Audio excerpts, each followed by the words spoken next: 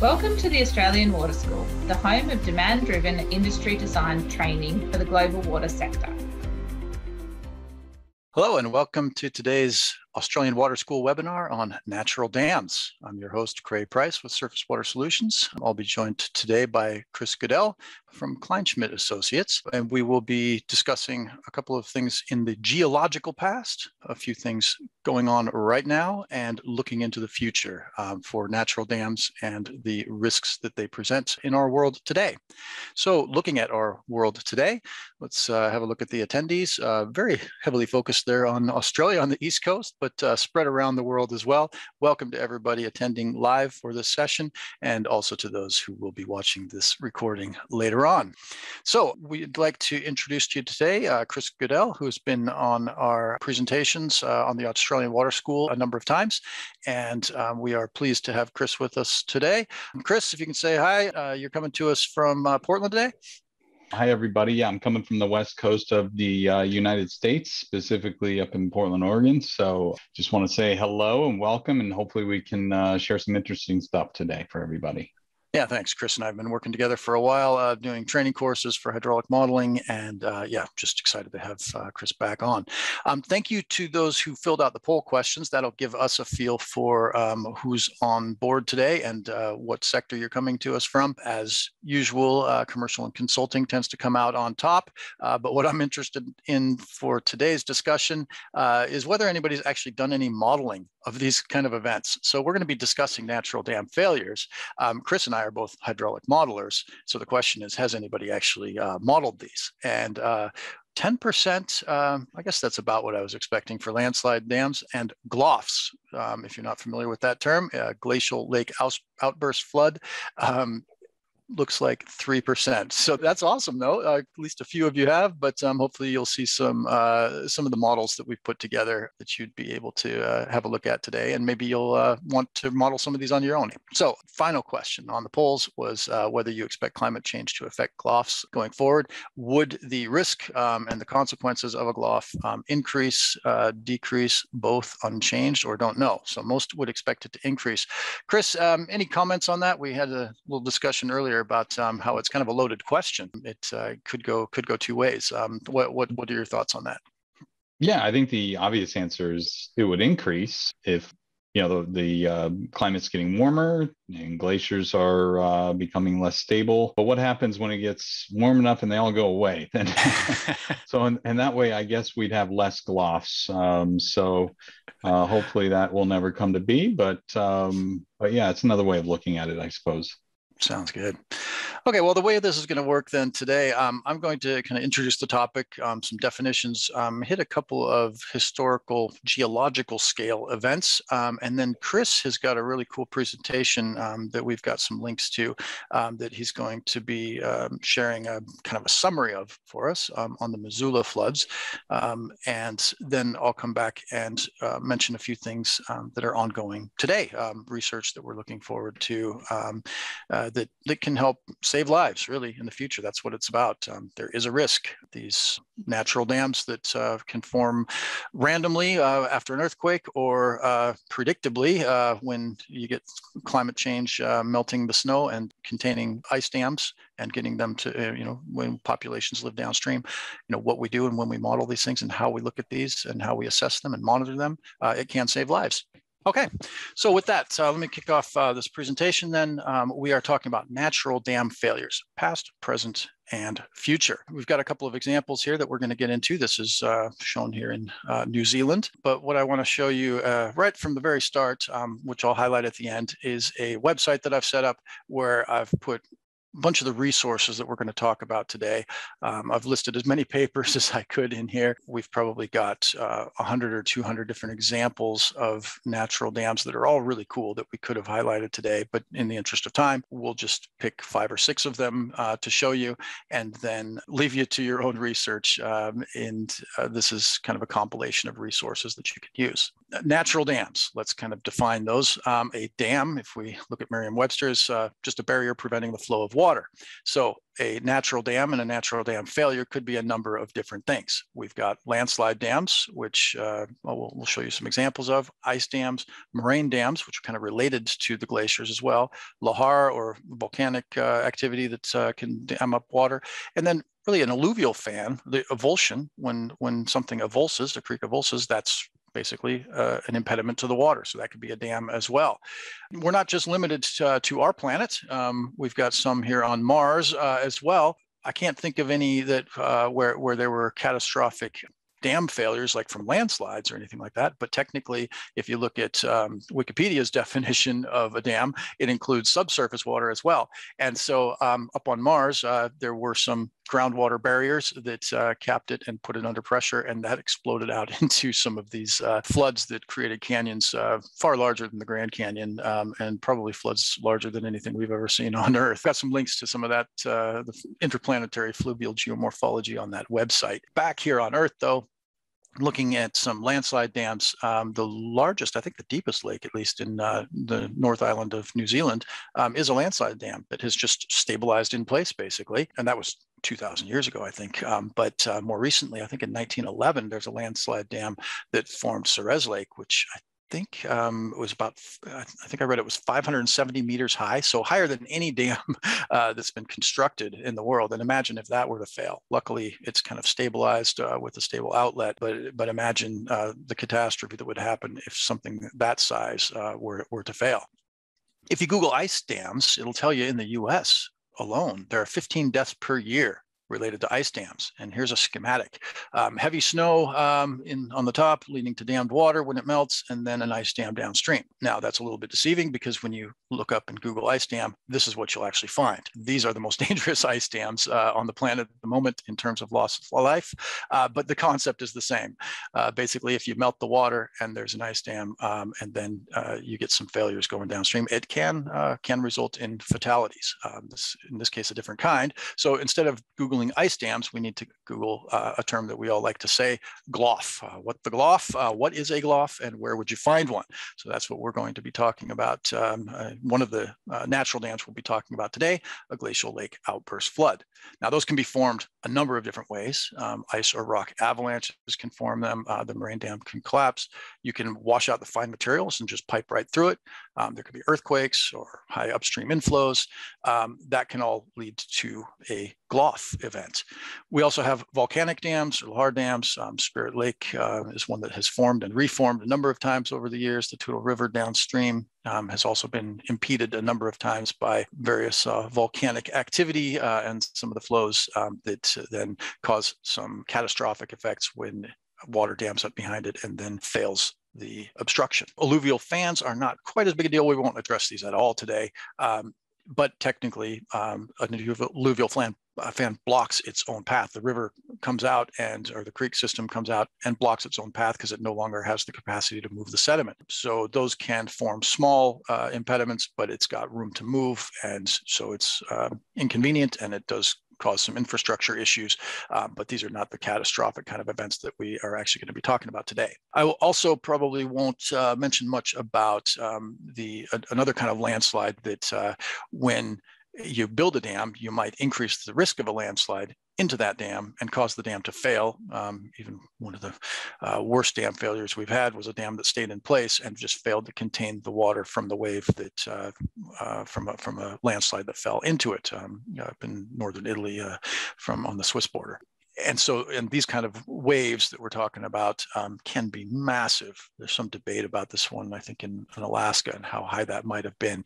But uh, you know looking at the, the scale of things you know 500 meters high uh, that's that's just astronomical. So these geological events can just really um, blow your mind. But let's go back in geological time um, as we prep for uh, chris's presentation here prehistoric dam failures. Um, I'll talk a little bit about Lake Bonneville, Lake uh, Corcoran, um, which is also known as uh, Lake Clyde, uh, and then Chris will talk about Glacial Lake Missoula.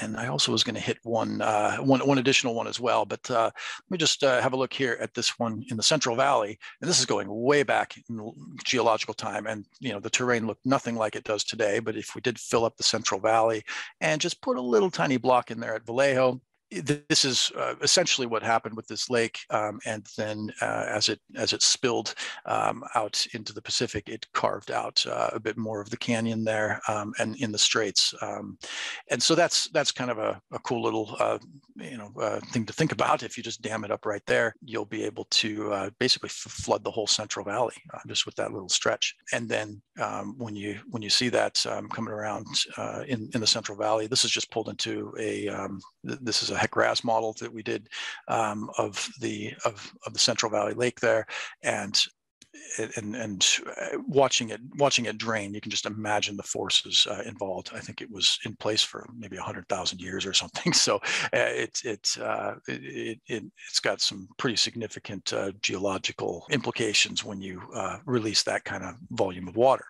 Likewise. Um, where I went to, to school in the mid in the in the west in the U.S. We used to see the benches on the side um, from all the different levels of Lake Bonneville. So I've modeled this one here in HEC-RAS as well, and watch that flood out into the Columbia. Chris will show you some more details on the Columbia Gorge, and there's the Willamette uh, Valley there um, from the Missoula floods.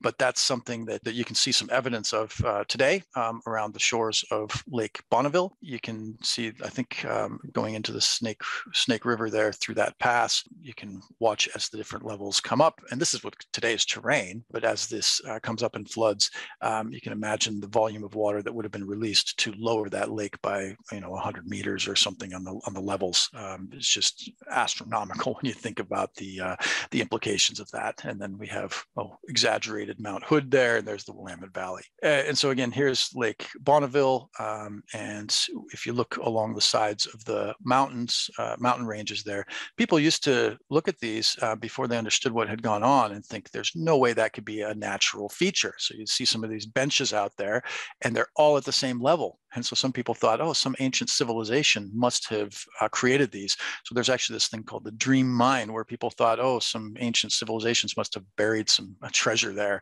And it's still ongoing today without that understanding. Just across the valley there, um, this is something we visited in a field trip for a geology class I had uh, in college. Uh, my university days, uh, Thistle, Utah, which uh, was buried by a landslide dam, and they ended up having to reroute the railway through it. And you see those tunnels there. Um, we'll talk about that in a bit. But getting back to geological time, there's there's uh, Thistle, Utah, and some of the houses that are uh, currently buried. And look at how big that landslide dam is and where the railroad was and where the new uh, diversion tunnel is to prevent a catastrophe in the future. So um, I also wanted to show you here in Lake Constance in Europe. Uh, one of the reasons I'm mentioning this one as well is because we've just had some massive events in the Rhine River. But can you imagine, you know, looking at that flooding that we had that was so catastrophic a couple of weeks back? Um, I was actually uh, teaching a course where we were modeling the Rhine River as the Google warnings were the warnings were coming up in uh, on Google Maps for where the floods were happening um, while we were modeling this. So one of the things that we did in that uh, course as well is to just see what happens if you take Lake Constance and then uh, form a uh, just that little tiny gap that you see right there. Um, if you just block that up, um, you can actually get uh, you know flood a good chunk of Germany. You can do the same thing over here by Dresden as well. Um, and so a lot of these things have been lakes in the past. And when they've uh, failed catastrophically, like here in Lake Constance, you can see um, the Flims Rocks slide, which is just upstream. Um, you can see the, the, the water course here and see how prone this is to landslides blocking it. Um, that's something that I think is, um, you know, is, is something that we'll want to uh, uh, ex- explore a little more um, in in the future. But it's not really something that uh, that we can, you know, uh, predict with any degree of certainty, especially when these things are uh, earthquake induced. Now, um, what I'm going to do here, when we're talking about geological times, these all happened in the last, you know, about 10,000 years. Uh, Lake Bonneville and this, the ones here in the Rhine. Um, likewise, I think the Missoula floods are, you know, within the last, you know, but prior to, to, to historical times, so we'll still call it prehistoric. Um, I'm going to take a break from my presentation here and turn it over to Chris because I wanted to um, address, uh, have him address a couple of things on the Missoula floods. He's got a really cool model, and um, I've got a link to a presentation that he's done on uh, on that website that I've shared with you. So I'm going to drop off here, stop my video, and go onto the chat line while Chris takes over, so I can see your screen just fine. Chris, over to you. Great, thanks, Krey. Yeah, so Krey briefly touched on uh, uh, one of his many examples that he just gave, the uh, Missoula floods. And uh, this is something that has shaped the area where I live geologically um, a great deal. And in fact, even today, we can still see and we can feel the impacts of the series of floods that happened. And these were GLOFs in the true sense of the word, uh, glacial lake outburst floods. But these were um, not only prehistoric, but on a enormous scale. So it's pretty fun to talk about. There's a lot of uh, uh, cool, interesting features and, and facts that I want to get into. And then I'm going to show you a little bit about my efforts modeling this flood in HEC-RAS. So just to give you some context of what we're talking about and where we're talking about, up in the northwest section of the US, we have the states of Washington right here, Oregon. I live here in Portland. Krey used to live here too, by the way. And uh, we've got Idaho over here and then Montana on the side. And during the late glacial maxims, this was about 10 to 40,000 years ago, much of the northern portions of Washington, Idaho, and Montana were covered with glaciers, and they would advance and retreat and advance and retreat over this time period. And at times, they would advance far enough south to block some major rivers. In this case, the Clark Fork River, which flows through uh, Missoula, Montana, and uh, eventually makes its way to the Columbia River today.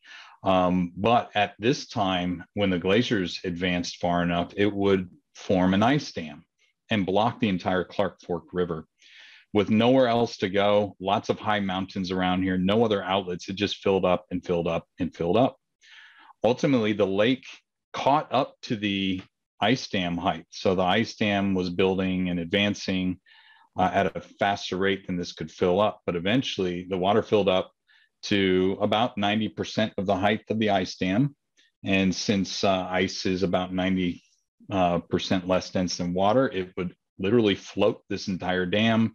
Water would seep underneath, burst out, the whole thing would break apart, and it would flood most of eastern Washington and the entire Columbia River Gorge, the Willamette Valley of Oregon, and then ultimately out to the Pacific Ocean. And so this is an artist's rendition of the the flood path of one of many Lake Missoula floods. Some people theorize there are up to as many as 40 different floods in this period between 10 and 40,000 years ago. Uh, each one flooded a little bit differently, but more or less this is what it looked like. They were very dynamic, extremely dynamic. Here you can see a little bit better the inundation zone. This is glacial Lake Missoula over here, and here's the flood path. And uh, again, with no outlet available where this ice dam formed or in this lake anywhere, uh, eventually it just burst the dam, the ice dam, and, and caused this flood. This is a close-up view here. This is what we call the panhandle of Idaho, this little section of Idaho right here that sticks straight up towards the border with Canada. And currently there's a lake here called Lake Oreille. And that lake, in fact, was formed by the uh, floodwaters coming out of the ice dam when it failed. And so here's the lake, Glacial Lake Missoula. This is the city of Spokane in eastern Washington. And this is uh, a portion of my model that shows what happened right here. So here's the ice dam, here's Lake Oreille, there's Spokane. And uh, when you run the model, you can see, looking at down here the scale, this is in meters per second. So uh, once it gets going, you'll see that we've got some really high velocities in areas, which explains a lot of the scouring that you see even today in Eastern Washington that I'm going to show you in a, a few slides from now. This is a shot up here on the upper right of what used to be underwater when the lake was there, when Glacial Lake Missoula was there. It was as much as 660 meters deep at the ice dam. That's the same as Crater Lake in southern Oregon. Uh, the surface area was 7,500 square kilometers, but the volume was really large 2,084 kilometers cubed.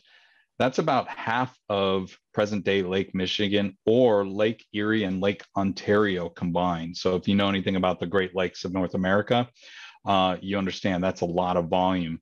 And uh, Krey was talking about the benches around the Salt Lake City area that you can see just driving around. They have the same feature in Missoula, Montana. If you ever get out to um, Western Montana, you can see these perfectly horizontal lines that were all put there by the lake bed, the glacial Lake Missoula lake bed at different elevations. And for the longest time, it was a mystery. People didn't know how they got there and how they could be so perfectly horizontal.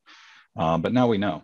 A lot of other mysteries that have since been solved, but for the longest time, when people were exploring this area, um, it was really unknown how they got there. One good example is Dry Falls, and also in eastern Washington. And uh, this happens to be a dry waterfall that's five kilometers wide. That's five times wider than Niagara Falls, and it's twice as high.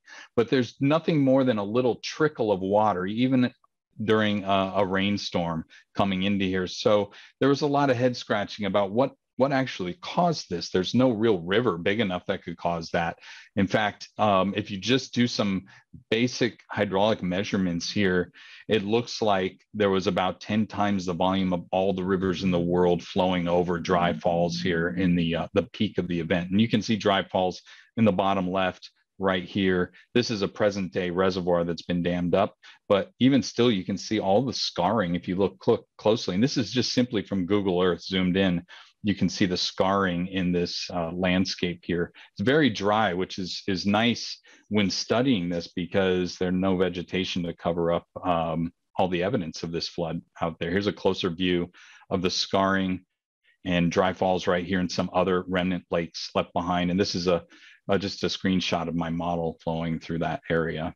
Another really interesting feature are the giant ripples. Now, we've all seen this at the beach when the water recedes, you see these little ripples in the sand that form, or you might even see them in a sand bed stream if the water's shallow enough or you could, it's clear enough that you could see through it. But here's an example of giant ripples, enormous ripples that were formed by the glacial Lake Missoula floods that you can even see today in Google Earth. If you zoom in close enough, this is called West Bar. It's on the Columbia River. And here's a uh, another view of that closer in, and you can see this little boat here for size context for scaling. You can see the size of these giant ripples. Um, in fact, if you were standing on those, you wouldn't even know really. They just look like rolling hills. But from a distance or from an aerial image, you can see they look exactly like the same kind of ripples you see in rivers or on the beach. There's West Bar over there again couple other really interesting features carved out by the flood right here. You can see some remnant lakes, a lot of scarring, a lot of drops, natural drops or dry uh, falls here. And so this was an interesting part of my model where you could see the, the funneling of water and the concentration of flow that increased the velocity really high, uh, up above uh, 50 meters per second through here to do all of this um, geologic damage here, so to speak. And here, in fact, it's kind of interesting. The water actually, for a period of this run, actually went upstream on the Columbia River uh, for a little bit before it reversed course to go back downstream. The Columbia River Gorge is another really great um, and interesting feature, remnant of the Missoula floods. I, I don't want to say it was formed by the Missoula floods, but certainly uh, the floods added to the character. And you can see a lot of the flood scarring here, um, especially in the eastern side of the gorge where it's much drier than on the west where it's a uh, rainforest. Uh, so you can still see the scarring, the benching that's taken place here and some of the, uh, the talus and landslides that happen. So this is an artist's rendering of what this flood may have looked like from this view right here uh, coming down the Columbia River Gorge. Probably my favorite part of the Missoula floods is the uh, ice rafted erratics. And so, as you can imagine, when this dam failed, it sent lots of chunks of ice, or in other words, icebergs down with the flood. Well, as these glaciers advanced down into North America or into the United States, um, present day United States, it would entrain these large rocks and boulders into the glacier. And so when the ice dam failed, it wasn't just ice, but it was a mix of ice and rocks. And so some of these icebergs would float uh, as far as um, the Willamette Valley in Oregon. And once they the uh, the floodwaters receded, these icebergs would um, rest out on dry land and eventually melt and leave behind these rocks. And this is a, a, a great example of an ice rafted erratic that's uh, near where I live. It's, it's called the Bellevue erratic, and you can hike up to it like this gentleman has and, and walk around it. Um, but they're all over the place. They're all over the flood path. and especially in dry areas or areas with little vegetation, you can find these erratics. Here's some more examples. This is a giant one off of a highway and a few others scattered around. And you can see this one in Google Earth right here. Just zoom in close enough so you can see them all over the place. The farmers out there, they just till their fields right around these rocks. They don't even try to bother to uh, remove them. They're too big.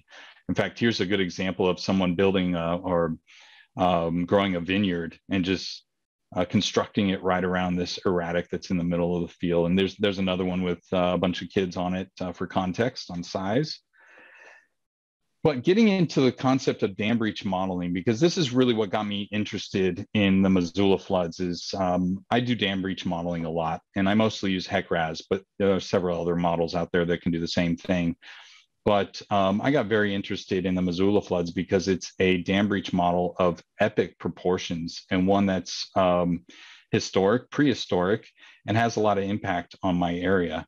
But dam breach modeling is really important for dam safety programs and that's that's why we study it but it has been applied and is being applied to modern day GLOFs the himalayas are a great example of where people are doing GLOF modeling and uh, they can be quite destructive getting into my 2d model real quick before i turn it back over to Krey, I just wanted to show you a little bit about the, the 2D model and more it was a curiosity on my part. It wasn't an actual funded project, but a curiosity on my part as to, hey, can this be done in HEC-RAS? So I simply got myself a terrain, like all of these really cool um, fantasy models that Krey puts together, where he just gets free terrain data off of the web and builds a 2D model off of it that's essentially what I did here too. And you can see my uh, my 2D areas, my 2D meshes. I have two of them.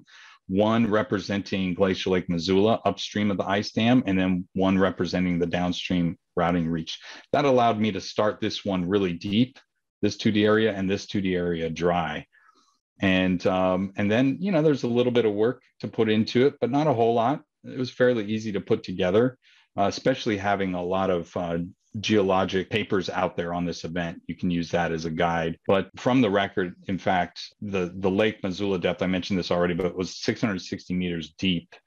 So extremely deep, 11 million cubic meters per second at the peak of any of these many floods that happened.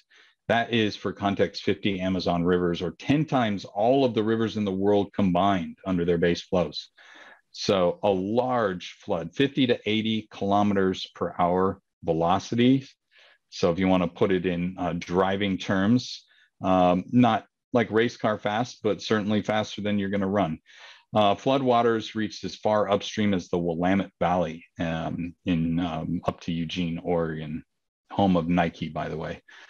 So here's a, uh, um, a geologist rendition of what the flood path looked like. So this was served as my guide and also my uh, calibration tool.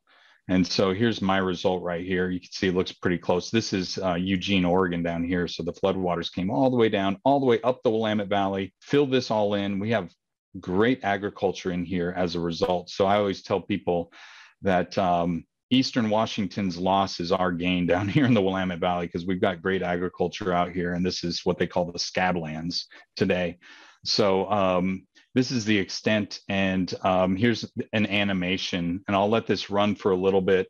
I don't know, Krey, if there are any questions while it's running we could uh, address before I move on to the final few slides just while that's running, uh, just one thing I wanted to mention is that you know we're talking about natural dam uh, failures, and in some cases, like what we've got here, you know the ice has you know there's so much hydrostatic pressure on the ice itself um, that that it finds flow paths and it can actually melt some of the ice just from uh, what's going on subsurface under that kind of pressure, um, and then and then it fails. That's an obstruction that comes into play, you know, from the ice, or you know, we talked about landslide dams coming in from a landslide. But some of these events are it, it was just the lake shore, like uh, the the the Lake Bonneville.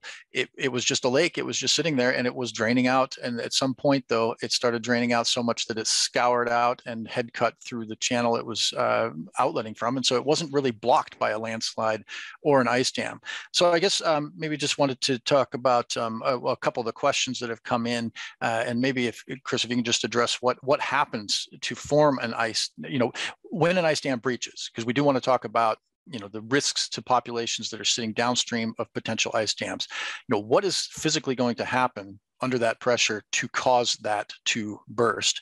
And then uh, just one quick question. Um, was there also a weather event? Um, somebody's asking the question, was it like a 100-year ARI or a PMP? Or what is it that you were modeling? Was it just a static water level and you burst it? Or did you apply any meteorological conditions to it? So those two questions for you. Yeah, so I'm no expert on the, um, the mechanics of an ice dam failure. As I understand it in reading, doing a little research on this, setting up this model that that uh, the theory, the, the prevalent theory anyway, for the Lake Missoula event was that the ice dam actually floated. So once the water got high enough, ice is um, you know less dense than water, actually floats in water. And so when the water got high enough, it, it literally lifted the entire ice dam up, that part of the glacier, and it was able to seep underneath. And once that happened, then it you know the pressure and the and the force and the shear stress of the water moving underneath just broke the entire thing up and, and off it went. I suppose there's a possibility that it uh, it may have overtopped as well, but uh, the the floating theory is what I hear the most of. Uh, as far as like your typical present day that you might fi- find in mountains, present day glaciers, uh, you know, I hear things like um, crevasses filling up with water and then the water pressure just gets too much for it to handle and it just ultimately breaks. Uh, but again, I'm no expert on that. As far as the um, any storm event, so I this simulation would be what you would call a sunny day uh, event, yeah. in, in, that there was no hydrologic event associated with it. It was just simply base flow filling up the Clark Fork to a point where it ultimately just was too much for the ice dam to handle and it failed. So it wasn't the 100 year um, event, it wasn't a PMP or PMF, it was a sunny day. Now, the resulting flood is greater than any PMF you would ever get or, or measure or, or um, estimate today in the area. Um, but um, as far as this modeling went, it wasn't an actual flood, flood induced by a meteorologic event. Yeah, cool. Thanks. Okay, and there's a few other questions uh, coming up. Um, do you have any other slides? Uh, yeah, let me quickly. I just want to quickly go because this this um, this webinar is is also on um, yes. landslide dams, and so this red square kind of is a nice segue into a very interesting landslide dam we have we had in the Columbia River Gorge about a thousand roughly plus or minus years ago, and it formed a a natural landslide dam. And you can still see the landslide deposits today. Um, this is the Columbia River right here. Uh, today we have uh, Bonneville Dam here, which you see the, uh, the two spillways in the powerhouse in the middle, which forms this reservoir. But uh, when this was free flowing, we had a, a landslide here. And this was before European settlement of the area, but certainly Native Americans lived here, and there is Native American oral history on this event that happened. And so um, it was roughly 500 to 1500 years ago. There's still debate on that, but you can see how this landslide pushed material in and actually blocked the entire Columbia River. Um, and the water pressure behind this natural dam eventually burst a hole through the landslide dam. At least that's one theory. Some people think it ultimately overtopped, but um, I think it actually punched through like a piping failure. And because the the oral tradition, the oral history from Native Americans talk about a bridge. In fact, they called it the Bridge of the Gods. And so they had this natural bridge that they would use to cross the Columbia River. And uh, that natural dam, before it became a bridge, was 61 meters high, roughly, and it formed a lake 56 kilometers long, which a lot of this area was forested back then and it drowned out a lot of forests. And, and in fact, well, here, before I get to that, this is the escarpment that you can see uh, from the landslide. It's still uh, visible today. If you drive up the Columbia River, River, Gorge, you can clearly see where this landslide originated. And this is the deposit here in the foreground before the river.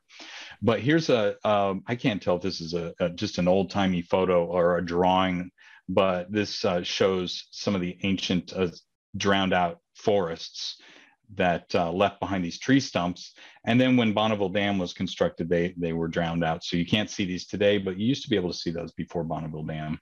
And then I just want to conclude this with uh, first a an artist's rendition of the Bridge of the Gods when it was the natural bridge of the gods that Native Americans used here. Um, and you can see the Columbia River flowing underneath. And here's the actual bridge to the other side, which is present day Washington. So from this same perspective, if you go out here today, you can see the current bridge of the gods. So an actual real constructed bridge is sitting there today where the old natural bridge was. And so with that, Krey, uh, I will turn it back to you.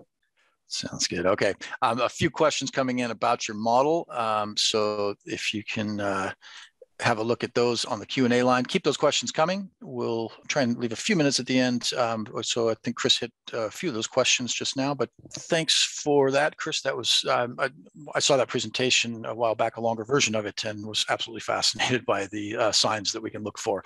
Um, so now we're into recorded history. Um, so if you can uh, see this here with uh, the the example in China back in uh, actually in pre-recorded history, there, there are there is evidence um, from about 2,000 years ago um, of one of the biggest landslide dams ever failing and probably had a massive loss of life, but we have no record of it. Um, in 1786, there was another one which resulted in uh, I think about 100,000 deaths. They said over 100,000 deaths. That is in recorded history. Um, and then uh, later on in China um, as well. In 1933, there was another one that I think um, had about 2,500 deaths associated with it. So uh, quite catastrophic um, for these uh, for these events. You know, and so the question is, uh, could it happen again?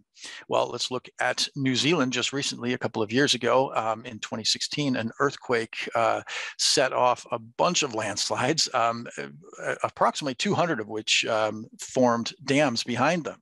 And those have been monitored, and it gives um, geologists and civil engineers and modelers uh, just a, a playground of tools to use if you go to the website slide nz or nz.net, um, you'll see some examples there of what sort of research is going on. And um, you'll see, you know, how they pinpointed uh, where the landslides were and then um, did aerial surveys and went out with remote sensing to try and figure out what was happening. Um, and some of these um, were absolutely massive. Um, this, this lake you can't even see here because the dam is so big, just jutting around the corner there. But some of these things um, have, have given us a laboratory, is what they've said uh, uh, on, on the website. There is a laboratory uh, there that's full scale for us to, to analyze. So um, some of these dams that formed had to be analyzed um, and very quickly. So I wanted to talk talk briefly about dam breach modeling parameters. If you're going to model these things um, to help save lives and send out the early warnings, you know, if we know something like this is coming, uh, what do we do? Uh, if you watch a typical dam breach model uh, come down, it breaches very quickly. Some landslide dams never breach because they're always just seeping through. Some of them armor up and just uh, you know stay stabilized for uh, many many days or years or weeks. Uh, it's it's very there's very high uncertainty with uh, how long a landslide dam will be in place, and so you might need to model a whole bunch of different scenarios. I think the ones that formed after that earthquake in 2016, um, I think they said approximately half of them failed within the first day. Uh, they were already gone. And so not enough time to even accumulate much water behind them. But a couple of things we need to consider then when we're looking at modeling uh, dam breaches. And thanks for all those questions. There are a bunch of questions on the chat line um, for, that Chris will be answering about um, what breach methods uh, should be used and things like that. Um, one of the things I wanted to, to just highlight is that you know if we have the data already in landslide susceptible areas where there is a risk of damming up the rivers, you know we could already be going about uh, collecting the existing terrain data. And then as soon as a dam, landslide dam forms, you know, if we put get the level as quickly as we can from, you know, drones or a helicopter survey, you know, find some points, um, get up there and try and find out how how big that landslide dam is that is formed, um, that can be quickly entered into a terrain uh, into the terrain data. We would also though need the hydrological data. We need to know what's going on at the time for, uh, you know, how long is it going to take this landslide dam to fill up and spill over. Um, so you would need some of that, and that can be you know collected in advance so that you can have even simulations and predictions um, and forecasts uh, available to you. And you would also need some geotechnical data about uh, what sort of material has um, slumped and blocked the river um, in order to establish some of your breach parameters. Population and infrastructure data, you know, where are your centers downstream? What is crucial to protect? You know, so these are all the, uh, you know, some of the things that we would need to put into the input.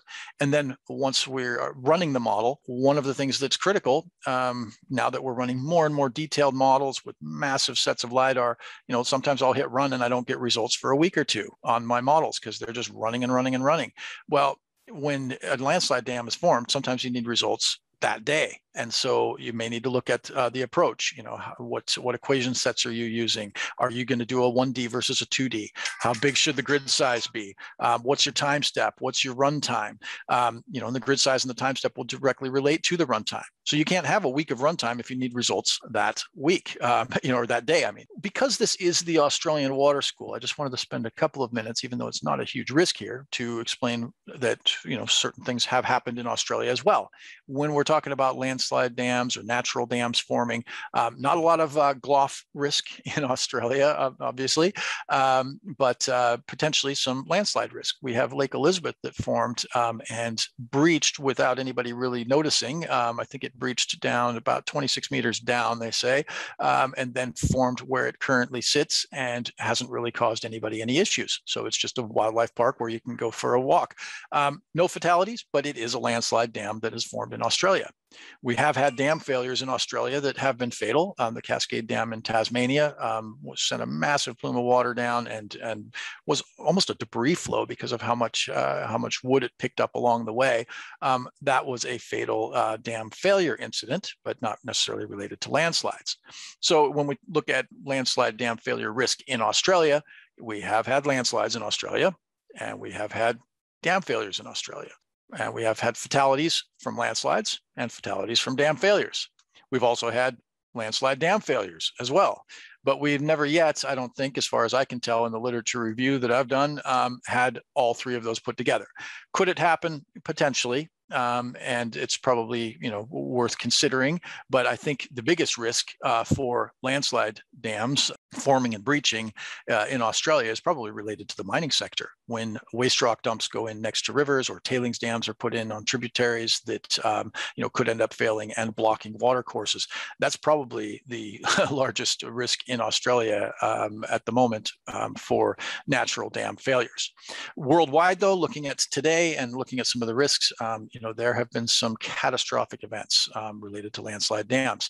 And you can see this one here in Nepal um, that has blocked that river. And, um, you know, again, when these things come downstream, they can take lives and it's uh, it, it, can be very tragic um, especially when there's not much warning um, we saw one uh, just recently, just this year, um, in India, that was initially called a GLOF. Um, this uh, this one, uh, all the papers, I think, initially for the first couple of days, uh, said it was a glacial lake outburst flood. And I wanted to relate this back to what Chris was talking about with the ice dam on uh, for for Lake Missoula. Um, this is one. I mean, man, when you look at this, think about as a modeler. I mean, aside from the human tragedy here, um, think about as a modeler. Uh, you know, uh, can we actually represent this kind of flow? Uh, and how would you do it? What are the roughness coefficients? What are the turbulence uh, parameters that you would put in for a flow like this? You know because we want to predict um, you know who needs to evacuate and uh, you know get the early warnings out there. So our models need to be up and ready to go. Um, this is not good quality on the image but i wanted to show you how quick things can happen. So here comes the water through this um, the, this, this spillway through this the sluice gate there. Um, turns away the i don't think there's a glip uh, um, uh, any any pause in the recording here. Um, the next time we go up to that uh, spillway the uh, the, uh, the the gate see that gate just moving right along the way there? Uh, I mean, the, the, forces involved in these kinds of failures, again, as Chris said, the, these are greater than any PMF kind of events. Um, this is something that that you don't necessarily design for, uh, but maybe we should just be keeping things out of the way. Um, if you go back uh, on YouTube on the, the Australian Water School's YouTube channel, um, Dr. Shrestha, um, in number 73 of our uh, Australian Water School webinars, uh, discusses the risk of GLOF and, and, and, explains a bit about GLOFs in the Himalayas and the risks that climate change uh, poses to that. And as Chris mentioned, um, you know, climate change may increase things uh, in the future and increase that risk um, briefly um, for you know decades perhaps, uh, but in the end, it might reduce it. So what do we what do we do in the meantime? You know, can, how can we mitigate for that? While the world tries to cope with climate change, you know, we may or may not uh, we may or may not succeed in what we're trying to do. So, do we just deal with these things happening? Uh, in the end, the uh, event that happened um, in uh, in India this year um, ended up being, I think, a rock slide that came down uh, into a glacial area. But the friction, um, the thought right now is that the friction from that rock slide heated things up enough to melt enough water to exacerbate this condition that was already bad because of the rock slide going into the uh, the ice dam. So certain things like that um, may continue to increase um, with uh, with climate change um, as more water melts and forms behind these uh, and and these these liquid lakes form behind the ice uh, and you know potentially with an outburst flood that can uh, result in a tremendous loss of life. So mitigating. Sorry, I've been showing these explosions for a while here, repeating over and over again. You know this is uh, one in New Zealand where the dam formed and it was going to be a big risk. So they just blocked it and blasted it. And they've done that uh, in China just recently as well. Uh, a couple of events in 2010 and 2014. Um, there was a lot of blasting going on, just trying to block some of the or uh, clear some of these landslides. Um, another thing you can do is uh, on mitigation is to build a bypass, which in Spirit Lake, just to keep that level low and keep it from overtopping and catastrophically failing, um, the level is monitored and uh, um, and controlled um, with the uh, with with some outflows. Right now, at the moment, there is a USGS uh, landslide database, and um, I've been told uh, over the last uh, few days that um, eventually um, a, a, landslide dam likelihood index is going to get added to that. The work on the uh, Kaikoura earthquake as well in New Zealand has resulted in acceleration of getting a national landslide dam inventory put together with some forecast models. Now, that's just one area that's in New Zealand, but the technology and the and, and the database that you get from that and the um, tools and the approaches that we can get from that can help uh, in other regions as well. And uh, this group ICIMOD, um, as we'll call it, out of Nepal, um, they're monitoring very closely all the glacier, um, the glaciers and the climate change impacts and uh, what the risks are. And with, with a lot of recommendations to avoid some of these power stations going in in some of the areas. Um, and, and there were advance warnings that uh, perhaps that's not the best place to put a power station. Because of those risks upstream. And as we, uh, there, there, are people who are continuing to monitor some of the landslide dams uh, in the uh, from, from the Kaikoura earthquake. Now, those are just a few. Um, there are many others as well, but um, I'll mention this one in particular, uh, the one in New Zealand. Um, and what I wanted to point out down here is that statement that this, this earthquake provides a laboratory uh, to quantify post-earthquake landscape dynamics. Um, and the dynamics, you know, one of the dynamics being uh, the hydrodynamics of water filling behind these things, potentially failing that dam and sending a catastrophic wave downstream, which could lead to loss of life um, or infrastructure. This is uh, some of the research uh, that's going on. I will highlight this um, on uh, uh when, I when I pull up the website uh, here momentarily. Um, do keep those questions coming. Um, and what I'm going to do here is uh, just briefly before we go into the Q&A back with Chris is um, scroll through this the, the resources here and pull this up and show you what we've got so far this is something I'm going to keep live and keep uh, keep linking to. Um, if you have resources that you would like to submit that you'd like to see included here, um, I'll just scroll down here and show you what's on here right now. We have got, again, this presentation that was done for the Australian Water School uh, by Aaron, um, who did a great job in explaining GLOFs and the risk um, to populations and how climate change leads to that. A more extensive version of Chris's presentation, um, if you were as fascinated with that as I was. This all relates to geomorphology, and I've, I've time-stamped these to the part where we get into paleo flood hydrology, and uh, that, that's something where you know, if you want to recreate these things um, and see how much flow there was, you got to look at the signs and then um, undertake paleo flood hydrology to get uh, the numbers out of it. Why um, extreme events are expected to intensify, even in areas where annual rainfall is decreasing, is explained very well in this uh, webinar by some expert presenters from uh, CSIRO. then we have the rivers on Mars, which I like to see some sediment transport webinars uh, that, that, that discuss, um, you know, how material moves, because a lot of this is debris flow. When we get these kind of events, it turns into debris flow. And then we have a course coming up um, in sediment transport modeling, where you can mo model mobile boundaries. Um, this is, uh, I, I, do want to show you this one. we are running a bit short on time, but you've got to see this. This is one of the coolest things I've uh, ever seen.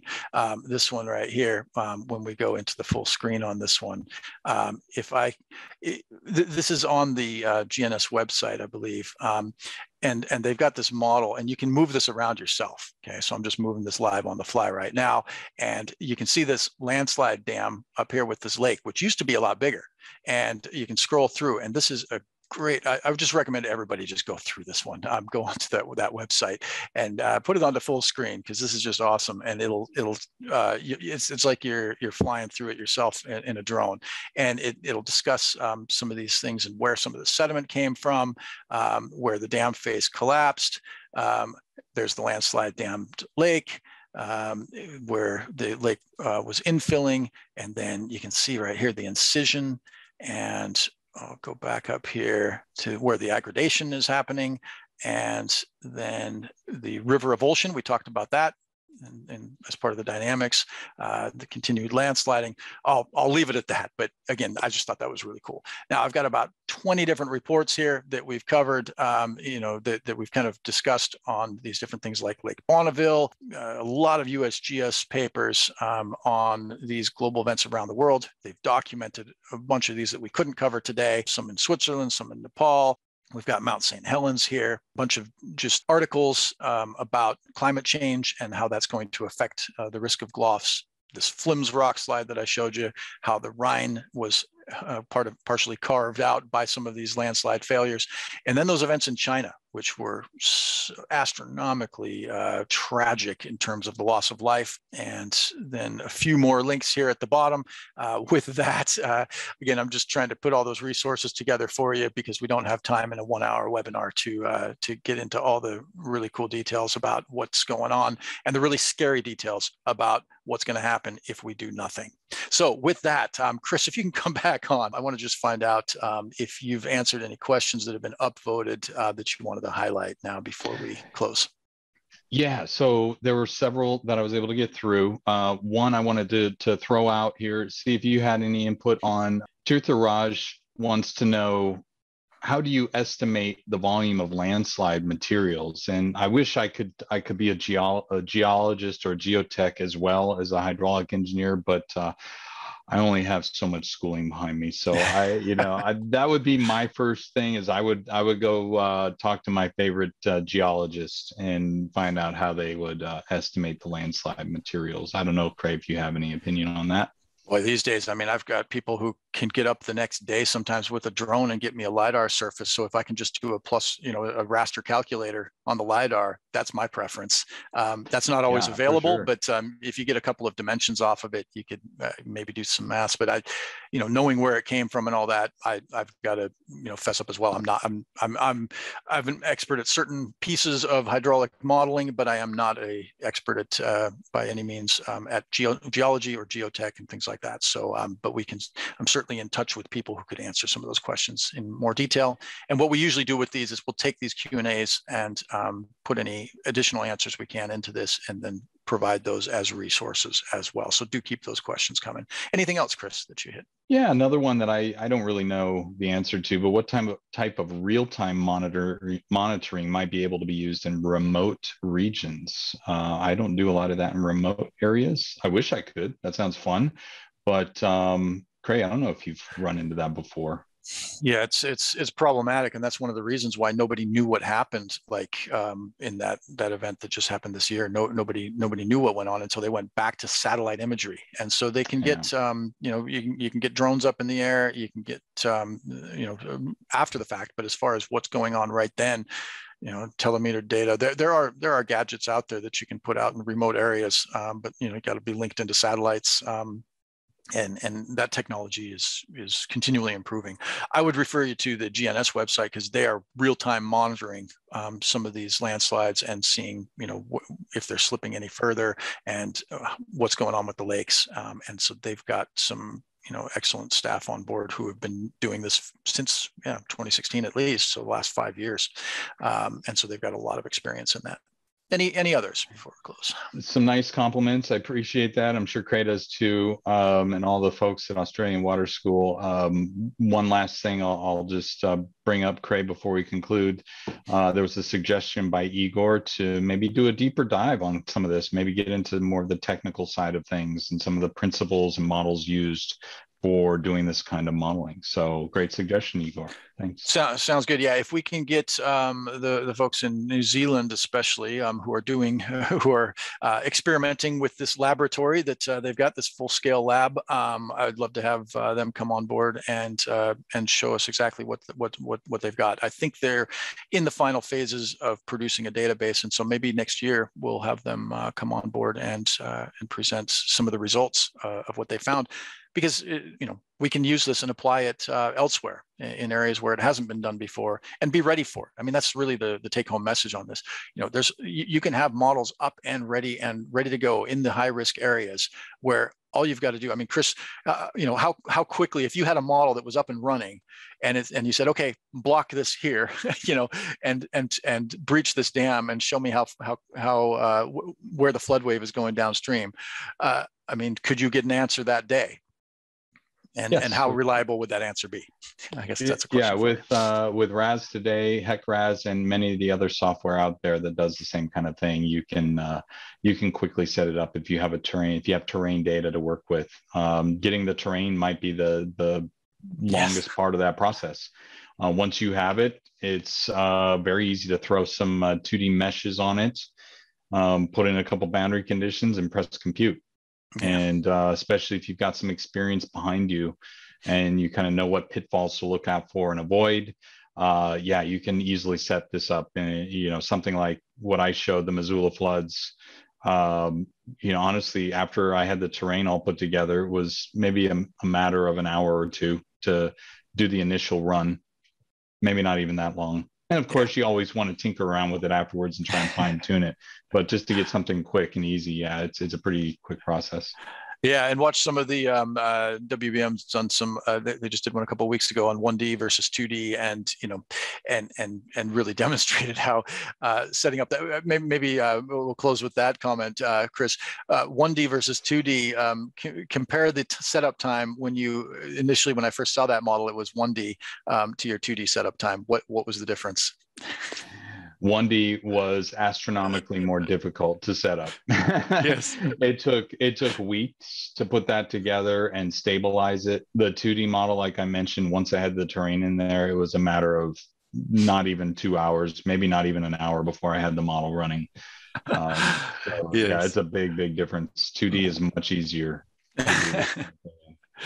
sounds yeah, sounds. But good. it may take it may take a lot longer to run, but it is easier. Yes. Yeah. Okay. Cool. We'll stop it at that. Um, and yeah, again, just uh, some people think 1D is simple, 2D is more difficult because it sounds like it's a higher number or something, but no, uh, that's that's not the way it is. Um, okay, I will stop my share here, and we'll put up a couple of screens for everybody. Um, do fill out that feedback. Um, hope you've enjoyed this one uh, today, but let us know what you'd like to see more of, and uh, leave us with your feedback and we'll we'll try to get as many of these answers out to you as we can, the ones that we didn't get a chance to hit today. Uh, and you'll see a final slide as we leave here that shows us the um, courses that are coming up.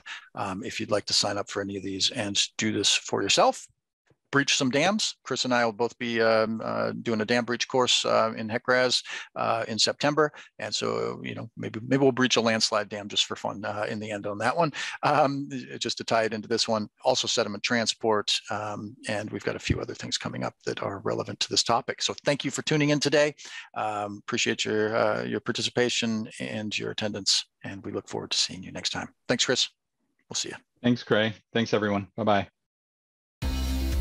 Thanks for watching. Subscribe by clicking the link below and click on the notification bell to stay up to date with new releases. For the latest in significant, innovative, and critical advances in water science, technology, and management, subscribe now. To build your skills, enhance your technical knowledge, and learn from leading experts in water, visit theaustralianwaterschool.com.au and discover our online training courses, both live and on demand.